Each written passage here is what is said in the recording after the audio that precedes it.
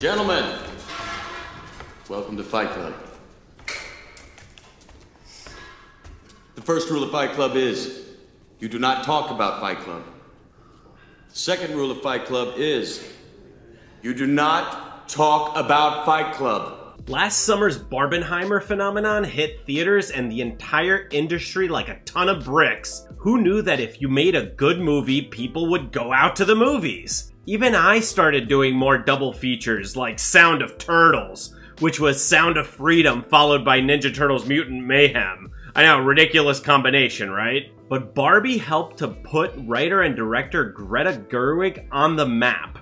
We all know about and have our gripes with this movie, and now the rumor mill is churning, and we've gotten news that Gerwig is writing and directing a new movie, a Fight Club remake with an all female cast. But is this a good idea? And is it financially viable, or will it flop harder than the Marvels? Join me, dear viewer, as I dive back into the raging dumpster fire that is modern Hollywood. Before we dive in, take a moment to like and subscribe. If just a fraction of the 95% of you who watch but haven't subscribed yet hit that button, it would make a huge difference in helping the channel grow. And the best part? Subscribing is completely free. So hit that sub button. The 2023 Barbie movie became a massive success due to nostalgia baiting, humor, and appealing to longtime fans of the toy and new audiences alike. The movie reimagined Barbie as a symbol of empowerment, which challenged the traditional gender roles the toys were known for,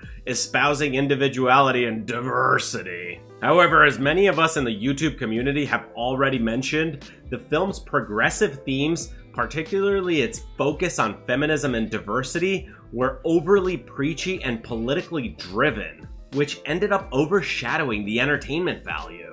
After all, what have I been ranting about since starting my channel? When agenda trumps plot and character development, the film ultimately suffers, but the movie helped to catapult Greta Gerwig into the big time. She gained prominence for her roles in films like Frances Ha and Lady Bird, the latter of which marked her solo directorial debut and earned her Academy Award nominations for Best Director and Best Original Screenplay. Gerwig is celebrated for her sharp, character driven storytelling, which for the most part was quite good. I especially liked Lady Bird, for example. The film wasn't overly preachy and it didn't focus on progressive agendas. It just told a story about teenage angst with a modern perspective. Gerwig is for sure talented, but when I hear about her wanting to remake a beloved classic such as Fight Club with an all female cast, I have to question her judgment and her understanding of Fight Club. It's no secret that the dark age of cinema may finally be over in Hollywood. Many studios are realizing that going woke definitely means going broke. I do know people who work at Marvel, they have cleaned house. They um quietly months ago fired all the producers that would could be labeled activist. Unlike Really? yes, unlike Lucasfilm that is Lucasfilm is lost. As Chris Gore reported, Marvel Studios has quietly purged all the woke activists within its ranks that pretty much destroyed the MCU in Phase 4. As many YouTubers such as myself, Critical Drinker, and Nerd Nerdrotic have pointed out, if you make a movie that focuses on good plot with excellent character development, then people spend money to go to theaters. It's really that simple. But I guess some people, like Greta Gerwig, didn't get the message. So I have to question why Gerwig would go through with something like this. It makes me question her judgment and even her understanding of what Fight Club was all about. Fight Club, directed by David Fincher and based on the novel by Chuck Palahniuk, is a 1999 film that explores themes of masculinity, identity, and societal disillusionment.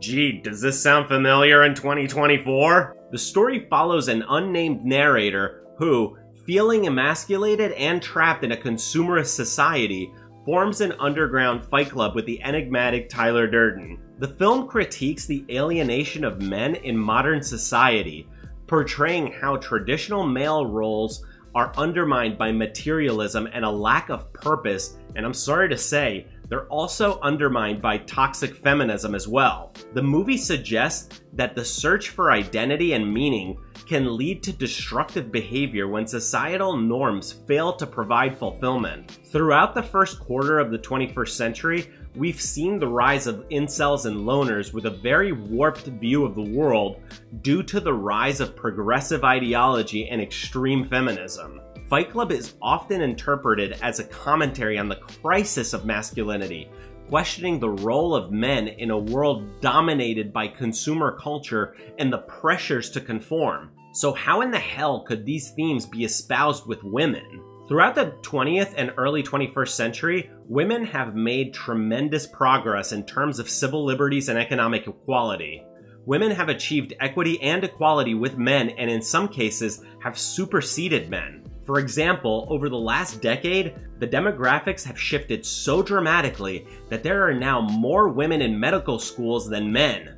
And if this trend continues, the entire field will be dominated by women in a few generations. Now, don't get me wrong, I'm a huge fan of female scrubs. There's no sexier thing than a chick in a white coat, but no environment where one group dominates another is bound to last. In mathematics, there's a very famous example of a fox and rabbit problem that is modeled using differential equations. If there's too many rabbits, that causes an increase in the number of foxes as they have more food to eat. Then if there's too many foxes, they run out of food and they themselves starve to death. So you need to have equilibrium. And that's my point. We're now seeing the opposite end of things. There is no crisis of femininity. On the contrary, women have not only achieved parity, but they have now taken over in some cases. So how in the hell are you going to make a female version of Fight Club? Let's do a little thought experiment to see how Greta Gerwig would fare with this idea. An all-female version of Fight Club could reimagine the story to explore issues specifically related to women's experiences in society while maintaining the core themes of identity, rebellion, and the search for meaning. Here's how it could work. The female version could delve into the pressures women face to conform to societal standards, including beauty, career, family roles, and the often conflicting demands of being successful, nurturing, and independent. But see, here's the thing that conversation has already occurred. We've already resolved it when women achieved equity with men. Perhaps if the film explored the darker side of feminism, it may work better. There's now many disillusioned women they realized that feminism lied to them, forcing them to choose career over family and love.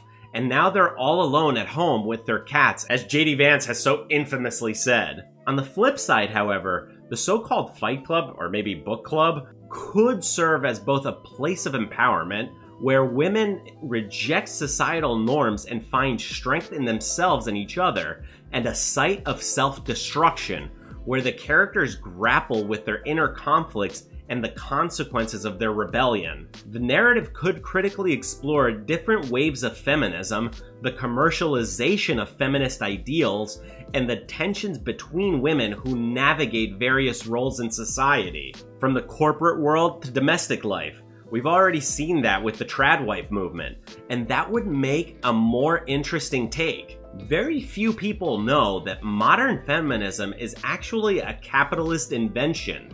The Rockefeller family has been intimately involved with the feminist movement throughout the 20th century. They promoted women's liberation to increase the workforce and tax base. Of course, it's basic economics and supply and demand. If you increase the number of workers, you can pay them less because it devalues their work, because there's more of them. The Rockefellers figured this out a century ago and put it into practice, which over the last few decades has led to the destruction of the nuclear family. And many women are waking up to this cold hard fact that feminism lied to them in order to generate profits for fat, greedy oligarchs. Perhaps if Greta Gerwig made a movie exploring that, it would be thought provoking enough and make a big impact. But what are the chances of that being the case in modern Hollywood? What do you guys think about all this? Do you think an all female version of Fight Club would be any good?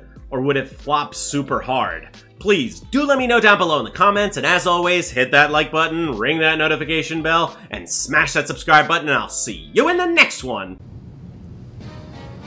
Okie dokie.